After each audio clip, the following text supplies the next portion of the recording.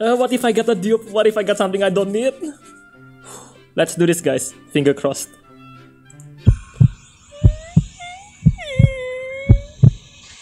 What is that? I can't see. You is blind. Oh, meta! I actually need this to pull off my Fella Jewel.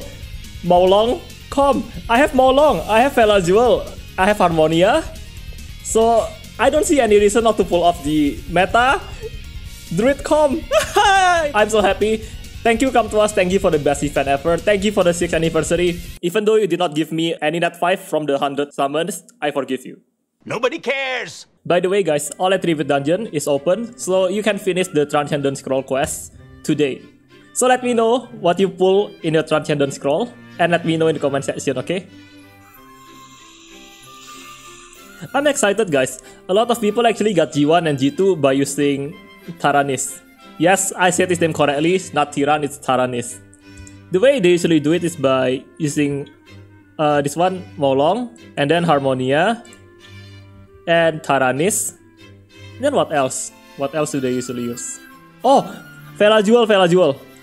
Yes, these four are the main com that makes the com very OP. As for the last one, I'm not sure guys. What do you think is the best one for the last one? What do they usually use?